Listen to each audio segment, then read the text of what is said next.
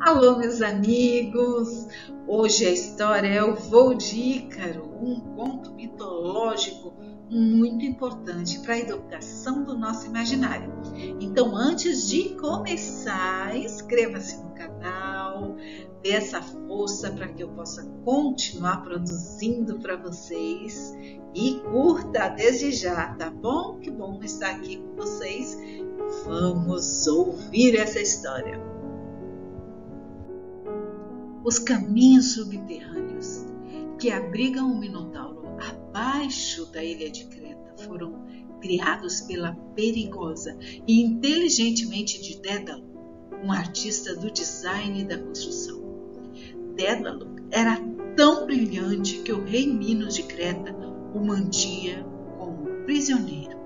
Dédalo vivia com seu filho Ícaro em uma torre do palácio, e o rei Minos o fez construir tremendas armas de guerra.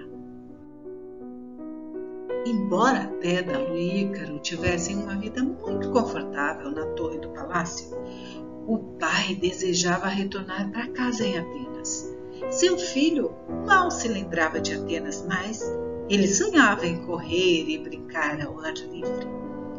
Dédalo olhou para as ondas do mar Mediterrâneo e percebeu que, mesmo se eles conseguissem dar um jeito de escapar da torre e encontrar um pequeno barco, eles não chegariam muito longe antes que fossem pegos por um dos navios da marinha do rei Minos. Ele pensou por um longo tempo sobre a melhor forma de escapar finalmente ele inventou um plano. Ele disse ao rei Minos que precisava de penas e cera para um novo projeto. Depois que Dédalo recebeu as penas ele as levou para o telhado da torre e colocou-as em quatro linhas.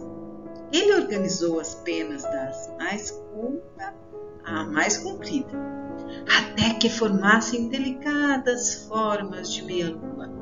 Então Dédalo prendeu as penas juntas, com barbante no meio e cera na base. Enquanto Dédalo trabalhava, Ícaro brincava com a cera, achatando-a entre seus dedos, e ele perseguia as penas que flutuavam ao vento. Dédalo mostrou a Ícaro como ele havia transformado as penas em dois pares de asas.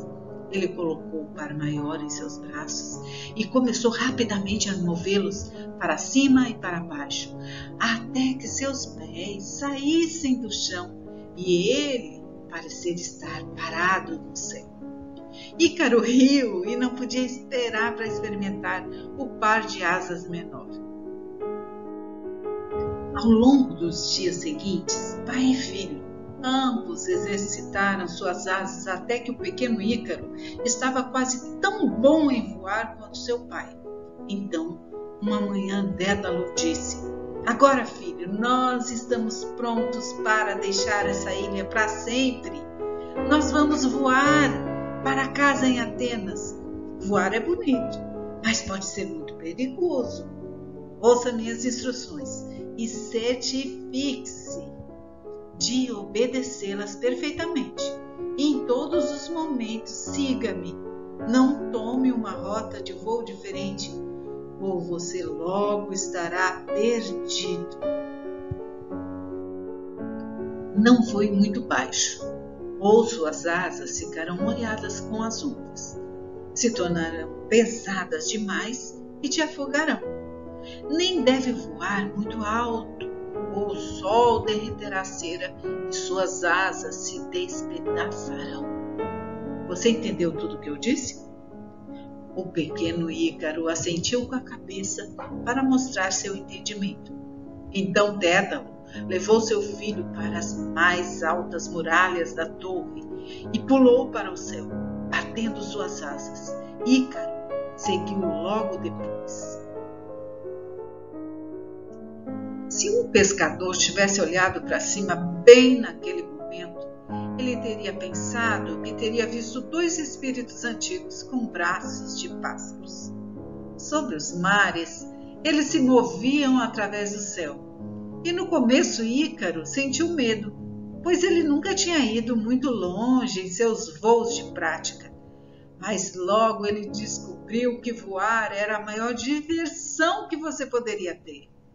Ele começou a seguir as aves marinhas, dançando para cima e para baixo sobre o oceano.